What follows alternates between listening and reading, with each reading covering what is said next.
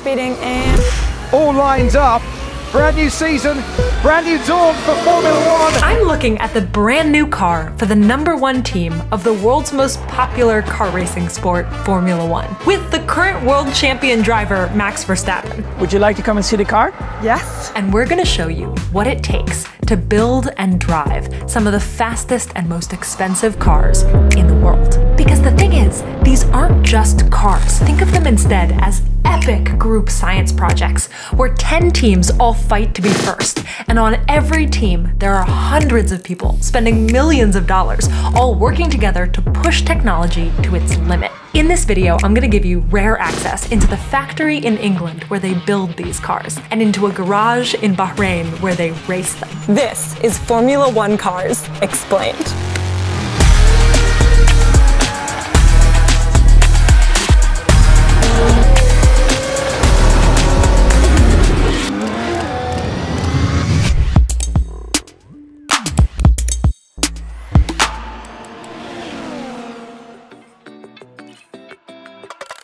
I am on my way to the Red Bull factory. We're gonna get into some of the nitty gritty engineering details, but we're also gonna talk about the basics of a Formula One car. This is Jack. Jack's gonna get us into all of the secret rooms. I will do my very best. He's doing a finger scan to get us in. So, Cleo, welcome to Red Bull.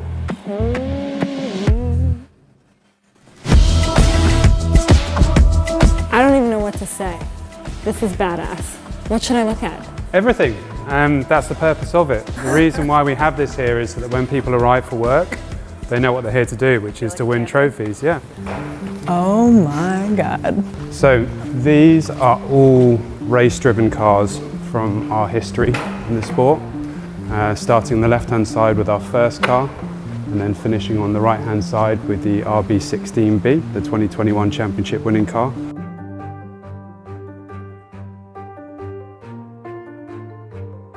The RB7 actually isn't here. And the reason for that is we do crazy things with the car. So you may have seen it do a donut on the top of a skyscraper. Uh, we've done a pit stop in zero gravity. Can I touch it? You can touch the car, that's fine.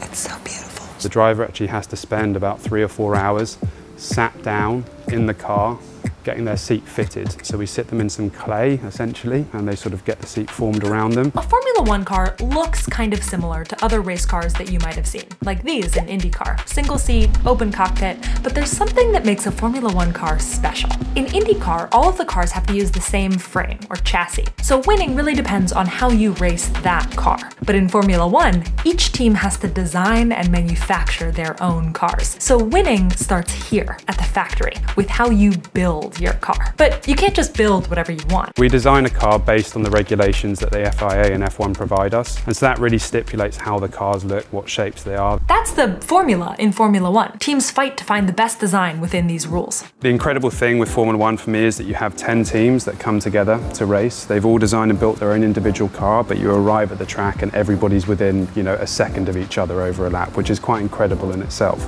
But the only way that you gain an advantage in Formula One when the margins are so slim is to look at every area that you can possibly can to eke performance. The rules say that each team can spend $135 million per year, minus driver salaries. I know that sounds like a lot, but in the race to win, it means that every decision needs to get the best bang for the buck. The amount of engineering that goes into building these cars is next level. We're using many of the same techniques, many of the same technologies that you know NASA or SpaceX would use to design their rockets. We apply them to designing our own rocket that goes around the racetrack. So this is the public display room. Now we're going into the secret, what do we call this room? The warehouse. The warehouse. Whoa! Yeah, this feels cooler.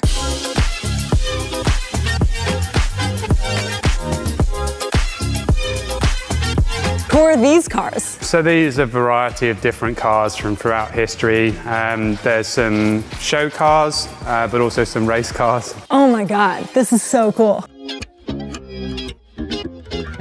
Can I walk here? I have a question, you're gonna say no. Can I sit right there? Yes. He didn't say no. Just be really careful not to nail your head on the banister above as you get up. Welcome to my crib. Every Formula One team's goal is to create the two fastest cars possible within the rules, so their two drivers can beat the other teams around different shaped tracks all around the world, racking up points to win the Constructors' Championship. And for the last two years, the team that has done that is Red Bull, by a lot. Here are the winners of every race last year. And here's Red Bull. Yeah. So, how do they do it? What makes a winning Formula One car?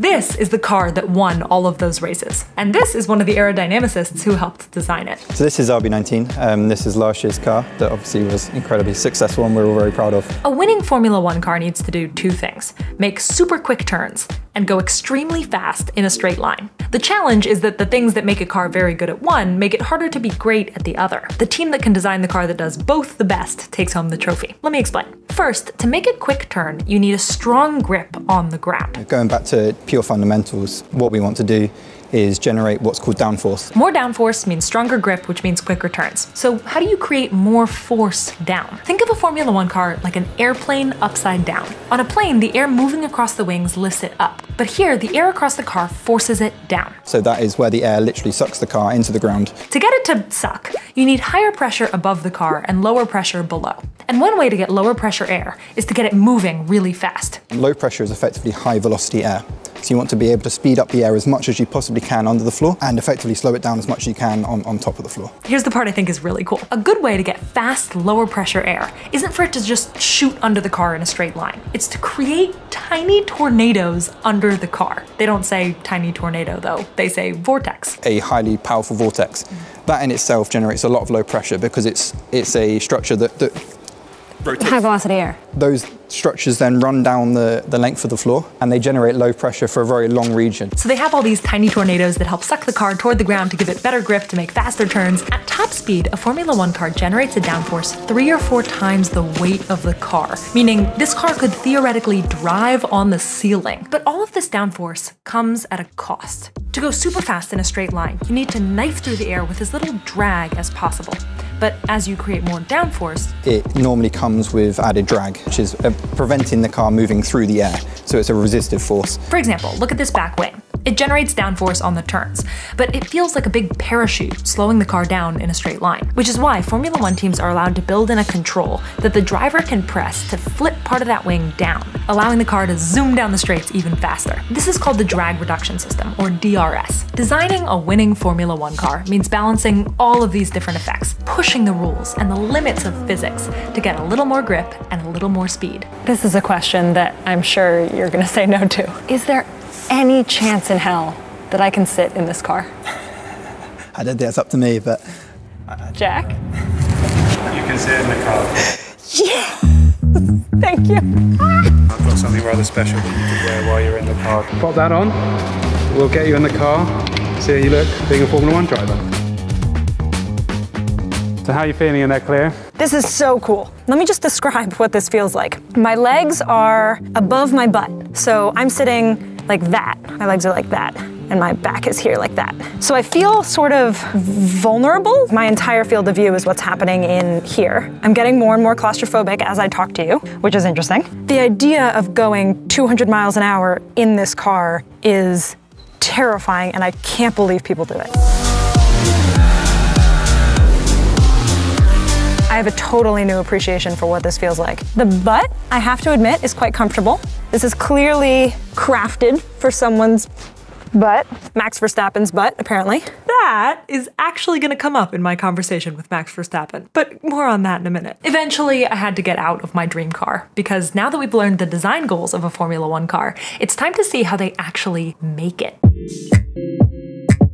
As every team works on designing their cars, they're constantly testing those designs in computer simulations, in physical rigs that mimic a moving car, and in big wind tunnels. One of my favorite details is because Formula One limits how much teams are allowed to test full-size cars in a wind tunnel, they build these little 60% scale versions of their cars and test those. One reason that Formula One cars are so light and fast and strong is that basically every part of the car that you can see is made of a material 10 times stronger than steel, but half the weight carbon fiber. Would it be good if I had a piece? Yeah. Do you have a piece of carbon fiber? Whoa, cool.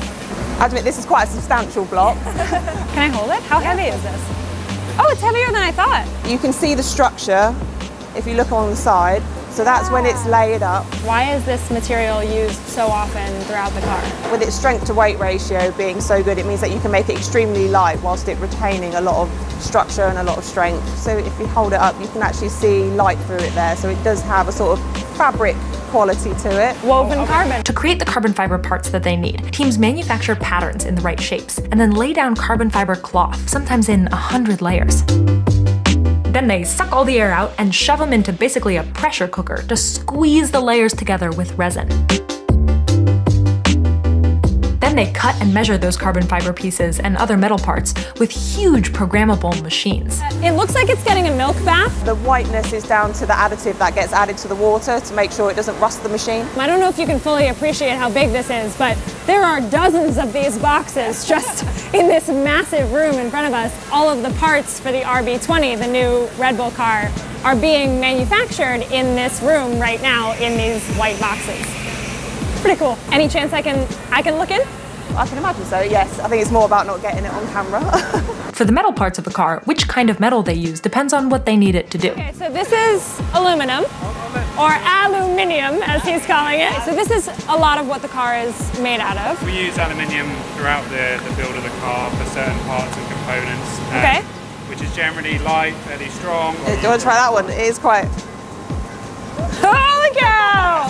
It's hard to show visually how different these objects are, except maybe how, how much I'm trying to hold. I could probably do 20 reps like this until my arm fell off. Like this is very heavy. So that's Densimet, which is an alloy which we use to add weight to the car. We sometimes add weight into the car when the driver isn't up to weight, so we have to have a minimum weight of the car. Yeah.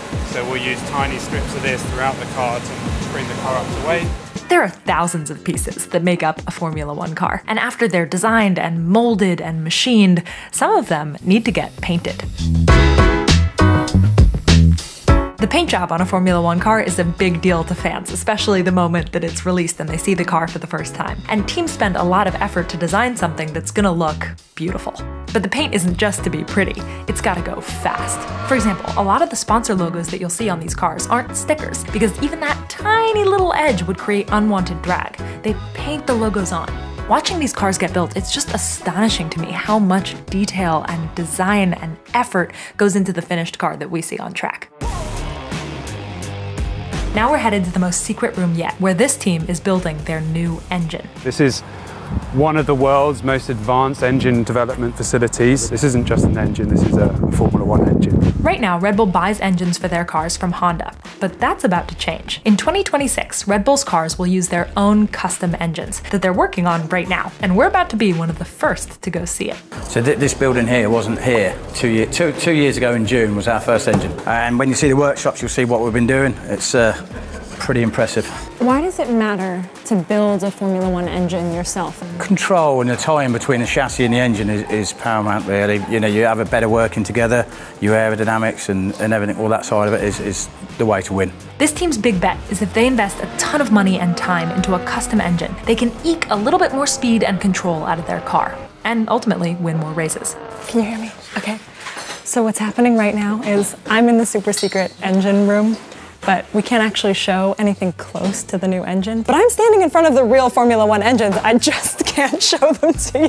People are gonna love it. They're gonna hate me. okay, so this is the engine that I can show you. We can show you. Um, and the reason why little bits are covered up is that those are the secret parts that you're not allowed to see. If I'm working on a Formula One team working on an engine, what is the goal? Is it maximum power, smallest size? Is it light? Power, you want as much power as possible because the driver will ask for more power. Now, Even if he's got the most powerfulest engine, he will want more. To understand why this engine is so cool, let me explain how the engine in your car works and how it compares. Okay, so your car probably has a four stroke internal combustion engine, and a Formula One car does too, which means there's a cylinder, and inside there's a piston that goes down, up, down, up in four strokes. In the first one, air and fuel rush into the chamber. Then they get compressed and the pressure builds. Then a spark ignites the mix and it explodes, shoving the piston down and turning a set of gears, generating mechanical movement that turns the wheels of the car. Then the piston lifts back up and pushes the remaining gas out. That whole process happens inside one cylinder, and there are six of them in a V shape, which is why it's called a V6 engine. Your car might have anywhere from four to eight, depending on what you drive. But one big difference between your car and a Formula One car is the maximum number of cycles that down, up, down, up each engine can complete per minute. Your car, about 6,000. A Formula One car, over 15,000. That contributes to more power to go faster. Plus, these cars combine a bunch of other technologies to get a little bit more oomph, like a turbocharger, which compresses air before it enters the cylinder, so it packs more punch when it's then lit on fire, and a motor and battery system that repurposes energy from the brakes and exhaust. The whole thing altogether is the powertrain of a modern Formula One car. It's a great example of why Formula One cars actually matter for people like you and me. It's not that this tech is brand new, it's that it's combined and tweaked and perfected by hundreds of smart people with millions of dollars to make it better. And those changes help inspire better car tech for all of us. The engines that they're building here are based on rules for 2026, which will use less fuel and more electricity, and therefore make a slightly different sound. And we got a sneak peek. Can you hear that? So that's the new engine running? Correct, yeah. Are we allowed to? You're allowed to hear it, you're not allowed to see it. Just running by. Ooh. What did that noise change mean? so it, it really just revved up the, the speed basically, and it's now going into this automated power curve. You can hear it's coming down in speed. So with every single speed, we take a measurement, next speed, measurement, next speed, measurement. So they're testing it at different speeds, at different. They're running power curves to see how it performs. And at that time, always wide open throttle, which means everything we have, right? Now that we've seen how they build these cars, it's time to see where they race them. And that means that we need to go to Bahrain.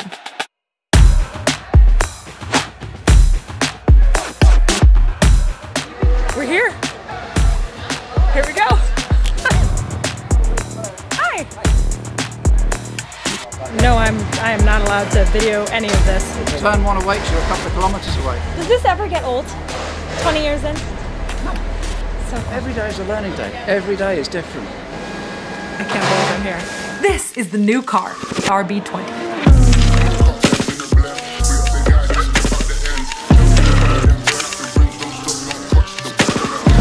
And uh, you might recognize these guys. Their job is to take the incredible cars that hundreds of people just built and speed them up over 200 miles an hour, facing forces sometimes greater than five times normal gravity, fighting off competitors to bring their team over the finish line first. These drivers are legends. Max Verstappen has been dominating Formula One recently. Remember those Red Bull win records? Here's just Max's wins. Yeah. What does it feel like to drive a Formula One car? Imagine sitting in a roller coaster and it basically just shoots off, but then like five to ten times worse, while having a steering wheel in your hands with all the buttons. Back in the day when my dad was in F1 when I was a little baby, basically, I sat in it and you know it's very cute the pictures. But the very first time that I sat in the car and I was gonna drive it myself, I was a little bit nervous. Even I, to this day, sometimes when I do that, I get this like it shoots off. You have this like like uh, kind of feeling. Yeah. I still have that in an F1 car sometimes. And for these cars, since no two drivers are the same, no two Formula One cars are quite the same either, even for the same team. They have a, like a whole book of um, measurements uh, for myself, from Max, so they know exactly my seat position, my pedal position, my sitting position. The seat is very important. It's a carbon seat. You're naturally in a very unnatural position. I actually got to sit in what I think was your seat in the RB19 in the factory. It's probably a bit wide. Actually, it was kind of a good fit. Um, Did I just tell world champion Max Verstappen that our butts are the same size? Anyway, here's what their steering wheel looks like, and here's one of the engineers who helped design it. would a steering wheel for each of the different teams look totally different? Yeah, so they all look very different. On every team's custom wheel, there are dozens of buttons and knobs and switches, all meant to optimize the engine and the tires and the brakes and much more in every possible scenario, all while the driver is driving. The drivers memorize all the buttons so they can do it without actually looking at the wheel. Sorry. No, we're good. He might have to go do a pit stop. If I run, At any there's a pit stop. That was a pit stop. At least once every race, every car needs to exit the track and enter their pit box, where roughly 22 members of the pit crew swarm the car to quickly change the tires and other parts. A good pit stop is less than two seconds. They give out a trophy for fastest pit stop, and when we were at the Red Bull factory, we got to see theirs. These tires just came off the car and they are hot, hot. Like Hold on. Now it hurts. That's how hot. I got to try stacking these tires and listen, they've got a really hard job.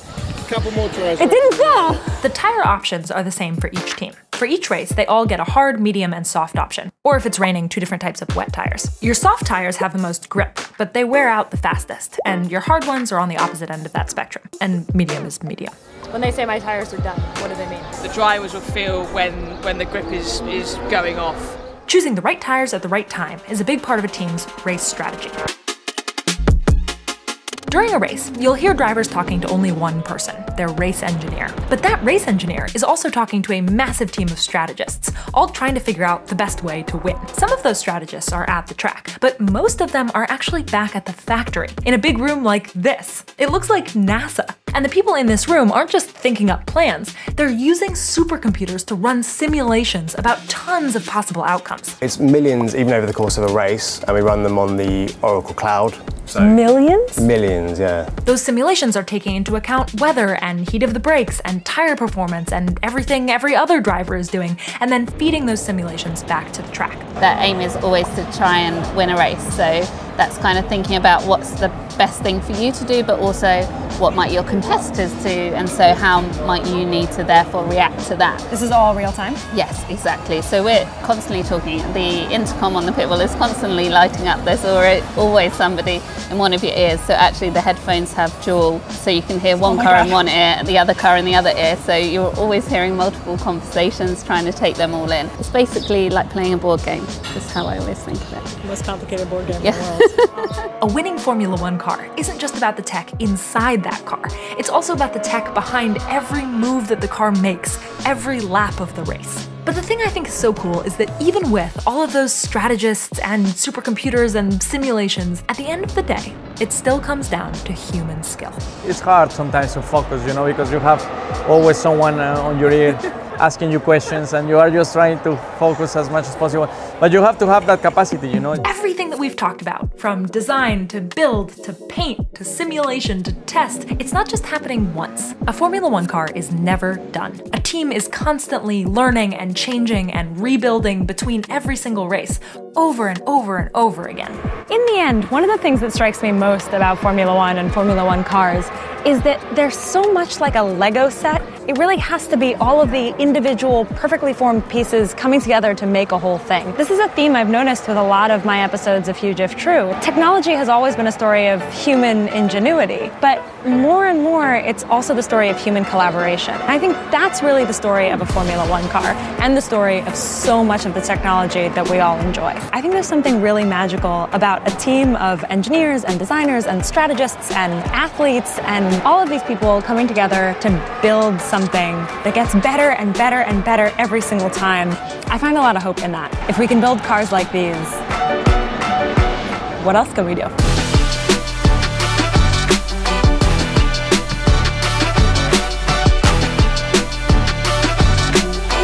I can't believe this is real life. One of the things that I've been keeping in mind is that most of the people that work on these cars won't actually get to go see a race, at least not with their team, because there's a limited number of people that Formula One allows each team to bring to each race. And I know that the only reason that I get to do this is because you watch and subscribe to this show, and I just, I'm feeling really grateful. I hope that these kinds of stories make you a little bit more optimistic about what we can build when we work together. So if you're enjoying this video and you want to help us go to more incredible places, subscribe and tell me in the comments where we should go. And we have some wild episodes coming up. I can't wait to show you.